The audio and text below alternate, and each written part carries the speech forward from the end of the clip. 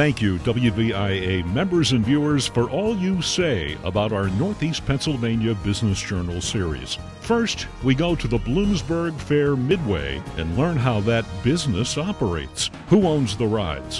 What about those church food stands? Who picks the big name entertainment? The Bloomsburg Fair on our next Northeast Pennsylvania Business Journal. The Northeast Pennsylvania Business Journal, Wednesday at 7 on WVIA TV.